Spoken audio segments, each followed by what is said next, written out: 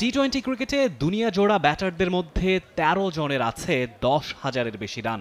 সেই দশ হাজারি ক্লাবের তেরোতম সদস্য ডেভিড মিলার। সদ্য সমাপ্ত এসএ টি টোয়েন্টিতে এই কীর্তি গড়ে এবার বিপিএল এর আঙ্গিনায় হাজির এই প্রোটিয়া তারকা। চট্টগ্রাম চ্যালেঞ্জার্সের বিপক্ষে এলিমিনেটরে ফরচুন বরিশালের হয়ে মাঠ মাতাতে দেখা যাবে তাকে। এমনিতেই তারকার কমতি নেই ফরচুন বরিশাল দলে। গ্রুপ পর্বে মিলেছে তার নজির। তার সঙ্গে ডেভিড মিলারের এই সংযুক্তি নিঃসন্দেহে ফরচুন বরিশালকে যোগাবে বাড়তি অনুপ্রেরণা। বাংলাদেশে এসেই যোগ দিয়েছেন দলের অনুশীলনে। দলের অন্যদের সাথে আইস ব্রেকিং সেশন শেষে হালকা গা গরম আর নকিংটা সেরেছেন। লম্বা আকাশ ভ্রমণের ক্লান্তিতে খুব বেশি ধকল আর যোগ করতে চাননি প্রথম দিনে। Yeah, it's uh, it's a lot of demand and stuff on the body, but I think uh, you know I think mentally got to be you got to know how your body ticks, how, how you know what what your body needs. I didn't really want to train too hard today. It was a couple throws, just feeling, getting bat and ball, getting used to the conditions here in the nets, um, and just obviously getting to know the guys as well. As I said, I've, I've arrived this morning, so it's more for me to actually just get to know the team uh, a lot better. Um, takes it takes a while to do that, but I've only been here for two hours. Uh, so yeah, looking forward to tomorrow's game, and I think it's just about managing your body according to how your body ticks. Everyone ticks a lot differently.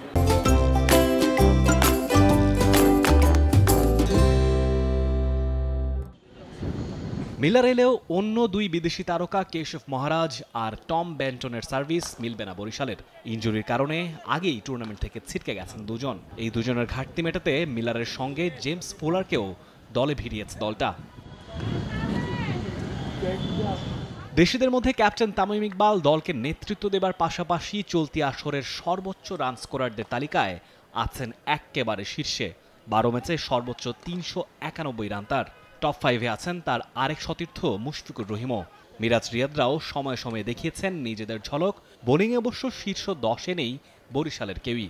তবে মিলেছিলে দশটা করে wicket নিয়েছেন মোহাম্মদ সাইফুদ্দিন, মোহাম্মদ ইমরান, মেহেদি মিরাজ আর খালেদ আহমেদের প্রত্যেকেই। অন্যদিকে নতুন কোনো চমক নেই চট্টগ্রাম শিবিরে। ব্যাটাতে তানজি তামিম আর টম ব্রুসরা আছেন দারুণ ছন্দে। তামিমের মধ্যে একটা সেঞ্চুরিও হাঁকিয়েছেন। Absolutely ridiculous. There is no mistake in that one. বল হাতে বিলাল খান আর শহীদুলরাও দলকে প্লে অফে তুলবার অন্যতম কারিগর বিদেশি রিক্রুটদের মধ্যে বিলাল খান, টম ব্রুস ছাড়াও Josh Brown, Romario Shepherd, Mohammad ওয়াসিমদের মতো টি টোয়েন্টির বড় নাম আছে দলটার সংযুক্তিতে।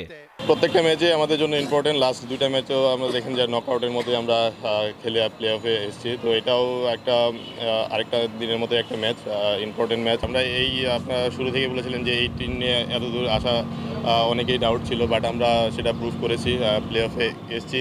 তো সবার উপর সেই কনফিডেন্স আছে, আমার বিশ্বাসও আছে, সবাই তাদের সেরাটা যদি দিতে পারে, অবশ্যই আমরা আশা করি যে এই ম্যাচ জিতবে।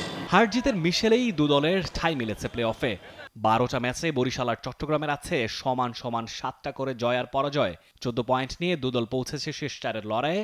যদিও নেট রান রেটের ব্যবধান আলাদা করেছে দুদলকে ফরচুন বরিশালের zero point four one four আর Chattogram চ্যালেঞ্জার্সের minus zero point four one zero তবে লিগ পর্বের দুবারের দেখায় দুবারই চট্টগ্রামের কাছে হার মানতে হয়েছে বরিশালকে সেই দুস্মৃতি মুছে ফেলতে সর্বোচ্চ উজাড় করেই খেলবে Fortune Barishal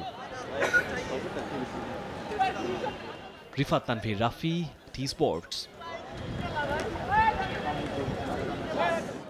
For more updates, subscribe to our YouTube channel and click on the bell icon.